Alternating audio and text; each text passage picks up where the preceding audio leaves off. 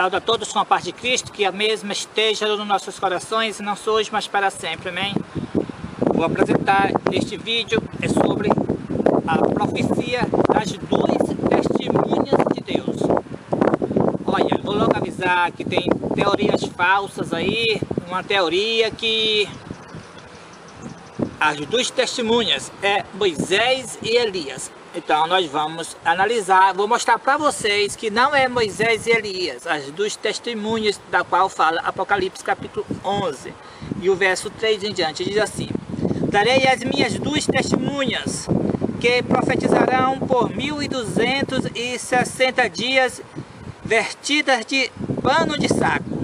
Aqui, 1260 dias em profecia significa um dia profético é como se for um ano. Então aqui é 1260 anos, vestida de saco, pano de saco, as duas testemunhas vai profetizar, certo? Isto ocorreu do ano 538 até, ou seja, do ano 536 até o ano de 1793, dá, 2000, dá 1260 dias, ou seja, 1260 anos. As duas testemunhas profetizou vestido de pano de saco, certo? Olha, aqui, pano de saco, alguém vestiu ela. Quem fez isso? Foi o papado. Pegou, vestiu as duas testemunhas de pano de saco, ou seja, prendeu as duas testemunhas. Prendeu, né? Olha, as duas testemunhas, vou, vou dizer claramente para vocês, é a Bíblia Sagrada, as duas testemunhas. O, o, Velho Testamento é a primeira testemunha dizendo Cristo vem, Cristo vem. E o Segundo Testamento é confirmando que Cristo veio. Então, a, os testemunhos, a palavra de Deus, a santa palavra de Deus, o Novo e o Velho Testamento, é as duas testemunhas. Nós vamos analisar isso mais na frente, aqui. São, é, são estas, as duas oliveiras e os dois candeeiros que se acham em pé diante do Senhor da terra. Se alguém pretende causar-lhes dano, sai fogo da sua boca e devorará os seus inimigos. Sim, se alguém pretender causar-lhe dano, certamente deve morrer. Elas têm autoridade para fechar o céu, para que não chova durante os dias em que profetizarem. Tem autoridade também sobre as águas, para convertê-las em sangue, bem como para ferir a terra com toda sorte de flagelos, tantas vezes quantas quiserem. Então aqui é o poder da palavra de Deus. Você viu como Elias, pela palavra de Deus, ele orou, né, e não choveu, né, pela palavra de Deus, é, Moisés fez com que as águas se tornassem em sangue. Então, a profecia prediz também a profecia bíblica que nos últimos dias as águas vão se tornar em sangue. Então, as profecias da Bíblia, do Velho e do Novo Testamento se cumprem conforme está escrita, predito nas profecias, né? Então, nós vamos mais para frente, diz aqui, no verso 7. Quando tiverem, então, concluído o testemunho que deve dar, a besta que surge do abismo pelejará contra elas e as vencerá e matará. Aqui diz que ia passar 1.260 dias vestido de pano de saco, ou seja, a Bíblia ia passar 1.260 anos presa, ia, ter, ia ser anunciada, mesmo assim, era presa lá no Vaticano, presa pela Igreja Católica, não ia é, deixar de existir. Contudo, houve servo de Deus levar, levar a mensagem para o tempo deles, que foi no tempo da Idade Média. É, eles copiavam a Bíblia em porções, é, existia poucos exemplares circulando, porque eram perseguidos quem tinha um exemplar. Muitos foram à fogueira, foram mortos pela Inquisição da Igreja Católica, porque eles apenas cria na Bíblia. É, tinha, era pego com a Bíblia na sua casa. Isso era motivo de ser morto pela Igreja Católica. Eles faziam isso. O, o povo da Igreja Católica, os, é, a liderança da Igreja Católica, o papado fazia isso. Né?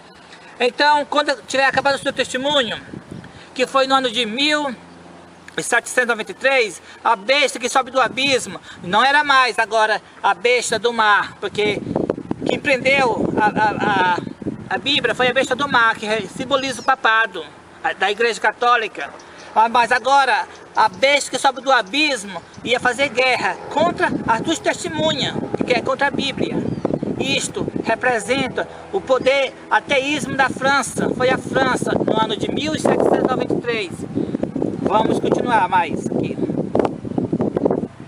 E o seu cadáver ficará estirado na praça da grande cidade, que espiritualmente se chama Sodoma e Egito, onde também o seu Senhor foi crucificado. Então na França, em Paris, foi, é, saiu no, no poder legislativo a lei para queimar todas as Bíblias. Então, extinguir a Bíblia da nação. Então, lá se cumpriu essa profecia, a besta que subiu do abismo, a França, no ano de 1793. Diz que também na, na, aqui falou o nome da cidade, não falou o nome da cidade, mas falou três sentidos, na, na praça da grande cidade, que espiritualmente se chama Sodoma. Por que Paris se chama Sodoma? É porque foi lá, aqui no, na Assembleia Legislativa, pela primeira vez, foi lá que surgiu esse grande pecado de contrato civil, de duas pessoas se unir apenas com o contrato. Se, ou seja, não casamento civil, contrato civil, uma pessoa passa tantos dias com outra pessoa, aí depois deixa aquele contrato. Então é um contrato de duas pessoas se unir conjugalmente, mas só por um período de tempo. Isto é, é sodomia, certo? Porque Deus une um homem com uma mulher, mas para viver até o fim, até a morte. O que os separa somente a morte, não que contrato de um ano, dois anos depois de se separar. Se der certo, afirma novamente o contrato. Isso aí é sodomia. Também, onde também espiritualmente essa grande cidade se chama Egito, porque foi lá que também o mesmo ateísmo de Faraó, que Faraó desafiou a Deus é, no Egito, como Faraó de quem é o Senhor? Não conheço o Senhor. Também Sodoma também essa cidade, que espiritualmente se chama Sodoma, que é Egito, na, em Paris, também diz o que? Que ela teve o ateísmo de Faraó, ou seja, quem, desafiou a Deus queimando a Bíblia em praça pública, certo? E diz também, onde também o seu Senhor foi crucificado. Vocês já viram falar do massacre de São Bartolomeu? 70 mil pessoas da legítima flor da nação foram mortas né, na França, 70 mil protestantes, 70 mil crentes que criam em Jesus Cristo, fiel a Deus, foram mortos. 70 mil. Então Jesus disse, se aquele que dá um copo com água para o seu servo está dando para ele. Então matando, a França matando, Paris matando, os servos de Deus, 70 mil protestantes no massacre de São Bartolomeu, Ali Jesus foi crucificado nas pessoas de seus servos. Jesus, novamente Jesus foi crucificado, certo? Vamos continuar para frente aqui. E disse seus, é, diz assim, verso 9. Então muitos, dentre os povos, tribos, línguas e nações, contemplar, contemplam os cadáveres das duas testemunhas por três dias e meio e não permitem que esses cadáveres sejam sepultados. Então, passou três anos e meio, que é três dias e meio, três anos e meio, passou Paris, a França, sem a Bíblia, três anos e meio, mas não foi sepultado. Por quê? Porque depois de três anos e meio, novamente a Bíblia ia ser por lei no, nas Assembleias Legislativas do país. Verso 10. Os que habitam sobre a terra. Se alegram por causa deles, realizarão festas e enviarão presentes uns aos outros, por quanto esses dois profetas atormentaram os que moram sobre a terra. Então os habitantes da terra, quando o Papa de Roma ouviu que França, o rei da França, tinha promulgado a lei, queimou a Bíblia em praça pública, matou 70 mil protestantes.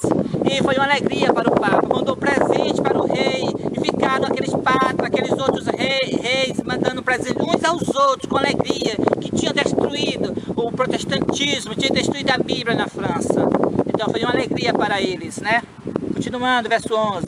Mas depois dos três dias e meio, um espírito de vida vindo da parte de Deus neles penetrou, e eles se ergueram sobre os pés, e aqueles que os vira sobre veio grande medo. E, verso 12, e as duas testemunhas ouviram grande voz vinda do céu, dizendo, lhes, sobe para cá, aqui, e subira ao céu, junto, é, numa nuvem, e os seus inimigos os contemplaram.